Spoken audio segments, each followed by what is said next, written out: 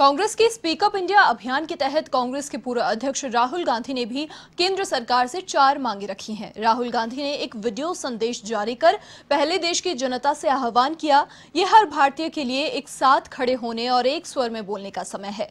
अस्तित्व के लिए संघर्ष कर रहे हमारे भाइयों और बहनों के लिए, उन लोगों के लिए जिनकी आवाज़ खामोश कर दी गई है। निराशा और भयभीत लोगों के लिए हम भारत हैं। हम सभी मिलजुल कर कुछ अलग कर सकते हैं।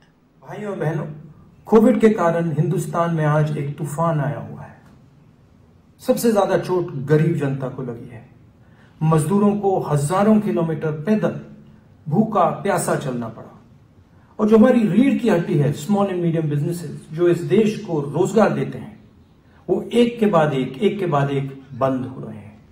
हिंदुस्तान को कर्ज की ज़रूरत नहीं है आज। आज हिंदुस्तान को पैसे की ज़रूरत है।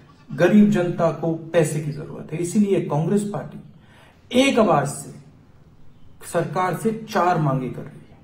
पहली मांग, हर गरीब परिवार के बैंक अकाउंट में महीने का सात हज़ार पाँच सौ रुपए छह महीने के लिए डाला जाए। मनरेगा को सौ दिन नहीं, बल्कि दो सौ दिन के लिए चलाया जाए। जो हमारे स्मॉल एंड मीडियम बिजनेसेस हैं, उनके लिए तुरंत एक पैकेज तैयार किया जाए। और जो हमारे मजदूर आज सड़कों पे खड़े हैं, वापस घर की ओर लौट रहे हैं, उनको लौटाने के लिए एकदम सुविधा दी जाए। धन्यवाद।